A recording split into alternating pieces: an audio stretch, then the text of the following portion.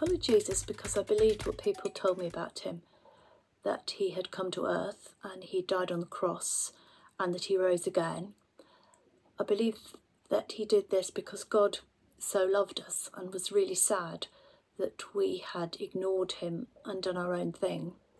And I felt I needed to say sorry to God for all the wrong things in my life and I needed to make a deliberate decision to follow Jesus.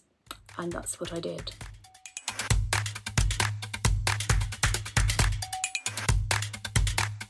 I believe it gives me a different perspective on my life and the events in my life and the things that are happening in the world.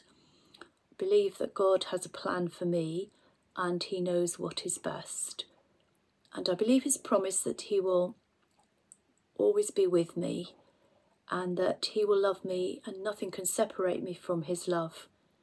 And this is what makes a difference when I'm facing the bad things but also the good things in this life.